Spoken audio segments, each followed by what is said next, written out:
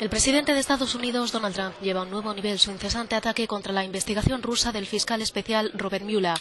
Trump ha denunciado que hubo un espía del FBI en su campaña presidencial, una información que han publicado los medios de comunicación. En su cuenta de Twitter ha pedido que el Departamento de Justicia investigue si su campaña presidencial de 2016 fue infiltrada o vigilada por el FBI o por el propio departamento bajo el gobierno del expresidente Barack Obama.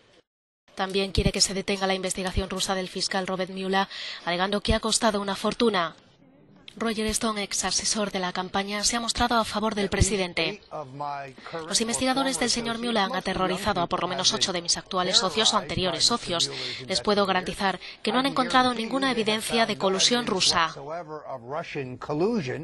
Robert Mueller, ex jefe del FBI, ha acusado hasta ahora a 19 personas en su investigación por delitos criminales e incluso por mentir en relación con la interferencia rusa en las elecciones.